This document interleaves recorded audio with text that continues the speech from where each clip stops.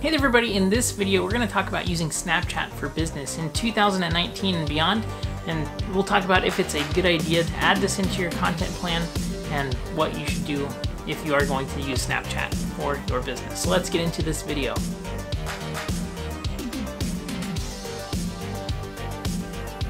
So this was a question asked by Tabitha. She has a staffing company, and so she commented below on one of the other videos and had asked, what do you think about Snapchat for business? So a few things about Snapchat. And before we begin, just wanted to mention that this is the Digital Marketing Madman channel. My name is Brandon Breshears, and I make daily digital marketing videos that help you to increase your business and reach more of your clients and customers. So the question here is Snapchat. Is it a good idea? What should you do to start it? And really, what are the best uses for Snapchat when you have it in use for a business?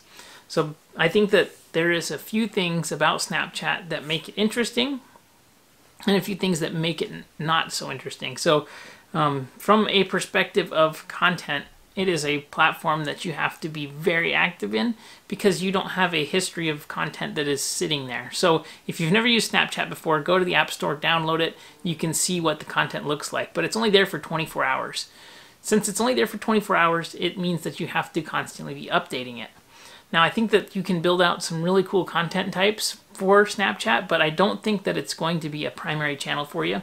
Now, Tabitha had mentioned that she is active on Facebook and LinkedIn and also Instagram more often. So I think that if you have I, the first question that you need to ask yourself, number one, is are your customers or clients on Snapchat? Is this what they are using? And is this one of their primary channels where they get content. So here's some interesting facts about Snapchat users to see maybe if you think your customers and your clients are going to be on Snapchat. Number one, 71% of Snapchat users are under the age of 34. It's definitely a younger demographic, although um, Snapchat has had, started out for sure being a younger platform and um, a lot more older people have jumped on too, but it's definitely a place where millennials hang out and you need to keep that in mind. Another quick thing to consider is that they have what they are reporting about um, as 188 million daily users, which as far as social media platforms go, it's not a tremendously heavily used platform. And actually when Instagram came out with stories, that really cut into Snapchat's popularity and usability. There's, I think, a few reasons for that. Snapchat isn't tremendously helpful to have as a way to search for other users and other types of content. They did add a search feature to Snapchat, um, but it is a little bit difficult to get discovered on there just for the reason that it's not primarily used as a way to search out for things. Snapchat is used primarily for engaging with your friends and family and, and people that you are following. And not, not even so much friends and family, but mostly friends, right? And so it's a, a good communication medium for that reason. People also follow influencers and other people like that. But in general, it's not the same as Instagram where there's hashtags and searches and you can follow hashtags on Instagram and you can follow hashtags on stories and that way you can keep up with new new content that's coming out and it really is more engaging for discovery. Not the case with Snapchat, but that being the case, there are some potential opportunities there. So I think here are a few suggestions on how to use Snapchat if you are going to be using it for your business. Suggestion number one is that you use Snapchat as an engagement platform to build depth of context. And I would say that having really high quality curated content on Snapchat is probably not the way to go. You're going to want to kind of use Snapchat as a behind the scenes platform and um, really help people to get a greater depth of knowledge when it comes to who is in your business and um, what you guys are all about. So, you know, using Snapchat to show stuff that's going on in the office, um, content. I would make it all natively on the phone and I would make it on the fly so that I didn't spend too much time really creating professional content. Now, if you did want to up your, your quality level, I would suggest using a camera like the GoPro Hero 7 because you can uh, shoot in portrait mode and you need your content to be in portrait for that. But in general, you're not going to be using Snapchat a ton to be found and to get your brand name out there. But if you do have people that are asking for it or people that you know are spending time on there, if you use Snapchat as another medium to get in front of the people that you already have on your list. So use it to take that next step of engagement. So it's not top of funnel content, use it for middle of funnel content. And if you're not sure what that is, here is a click on this card up here. I'm go over the funnel process and how to use top of funnel, middle of funnel, and bottom of funnel content. But really with Snapchat, I would focus on middle of funnel content. So it's evaluation type things, right? Also, if you're going to use it to build out, you know, brand um, awareness and you want people inside of your company to be keeping up with what's going on, that might also be a good use of Snapchat for your brand. In general, though, the content that you're producing, I really think it doesn't have to be so polished and professional. And actually, the more that you use Snapchat to show your personality, your core values, and help people just to get to know you better, right, so that they can take the next step to conversion, I think that that works really well. Now, one thing that is interesting about Snapchat is since it does disappear after 24 hours, you can make offers that are very time sensitive. So if you wanted people to be rapidly consuming offers and seeing them, then they know that they're going to have to act quickly because it's going away in 24 hours.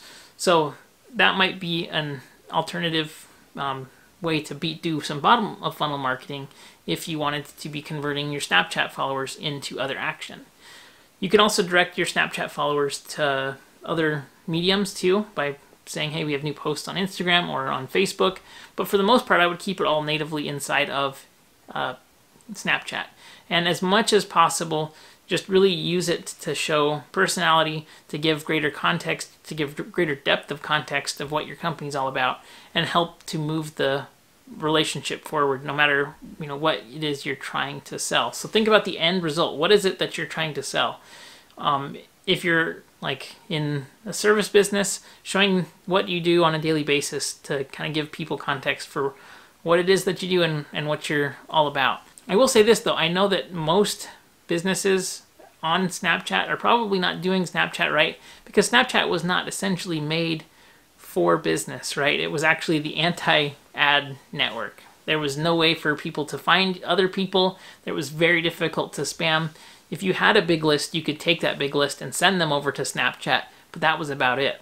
So that being the case, that's how people approached the, the platform to begin with, and it's important to consider that. And so moving forward, it's just difficult for advertisers to jump in there. Now, if you are thinking about should I do Snapchat or should I do Instagram, my suggestion would be Instagram because you can create ads for Instagram, you can drive actions. They have really, really creative um, ad types that you can use.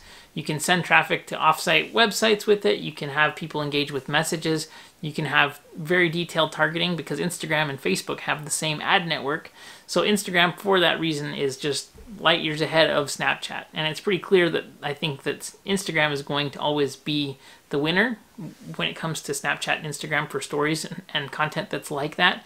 But you also have the additional curated type content on Instagram that lets people follow you. So you get both of those benefits. You get people that are looking for that 24 hour really relevant content that they have to consume or else they're going to you know go away or um, also the content that's curated and, and sitting there instagram's also pushing really hard on instagram tv so um, it would be interesting to see what happens with that but that's longer form video content that i think will have some benefit. I was actually engaging with some posts that were Instagram TV posts today that were really high quality and I, I thought it worked really well. So as far as platforms go, I think that Instagram is probably the better platform if you just want to be on Snapchat for having an extra channel that you're exposing your brand to your clients and prospective clients.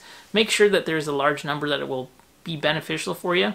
And then probably have crossover between the content that you create on Instagram stories and the content that you create in Snapchat. And it really just depends on your business, but making sure that you're creating content that is relevant to middle of funnel type activities. I think that that is going to really, really help you to grow your business with this activity. Now, Snapchat does have ads, and I have only run one ad ever before.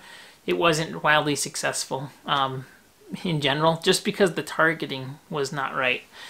The thing about if Instagram and Facebook is their targeting is so amazing, and you really can't beat their contextual targeting when it comes to display ads, which is essentially what Facebook and Instagram are. They're display ad networks. And you're able to use the content that you have to warm up the traffic.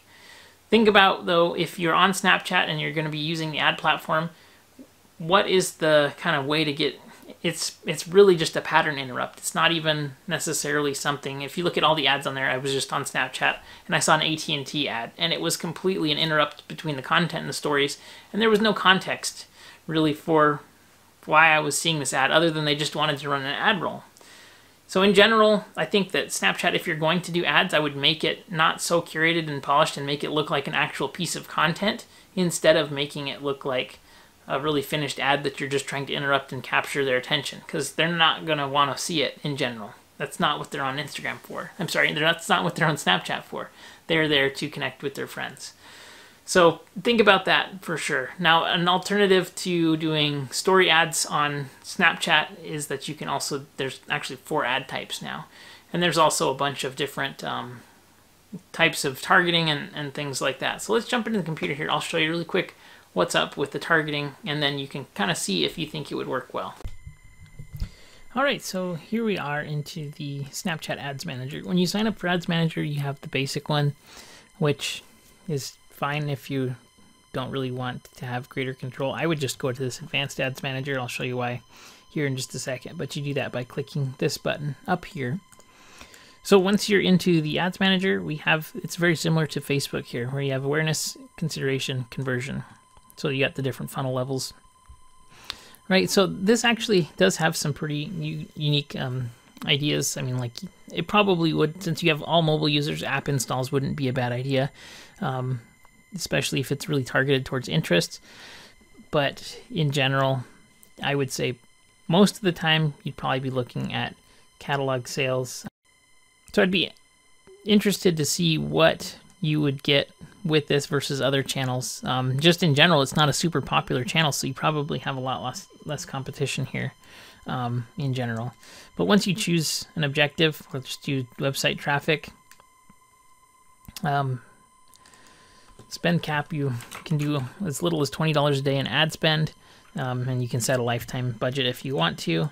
And then you can build your ad sets. So with this specific objective that I chose, I only have two types of ads. We have collection ad or snap ads. We also have this here, um, which is a story ad. This is going to be an awareness type ad, and then a filter, which is also an awareness type ad. And unless you're a large company, these two are not going to be super effective. Um, and then it's interesting to have their placements here. So you can run on publisher stories or user stories. That's really interesting. I think probably people consuming inside of publisher stories, that would be definitely more expected as far as like interruption for a, a, curated ad in general. So I think that that would be an interesting, be interesting to test both and see what the results were were based on what you know was working for you. Um, always be tracking your pixels. Uh, and, and pixeling your user data and engagement data because it's important to know who's engaging and be able to retarget with them later on. We have targeting um, that's based on location. We have age demographics, um, operating system, which is cool. Interest audiences that we have here. We got lifestyles, shoppers, viewers, visitors. Um, again, it's super broad, and I would say that in general, you're going to need a very broad offering unless you're doing retargeting.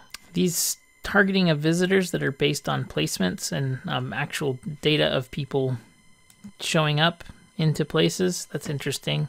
Um, these actually look pretty interesting from a perspective of like an auto dealer that you could use pretty well. Um, but definitely go through and figure out who your client is and your client avatar before you get started with any of this because that's going to help you determine the best targeting um, for this specific ad. Once you have this all set up, you can build your ad. You have the name of the ad, the brand name that appears, the headline, um, the website URL that you're sending to if that's the objective, the delivery, and then with the creative that you do, you need to create specific portrait creative. You can do that inside of Canva or other um, editors. Canva is really, really simple and, and easy to use.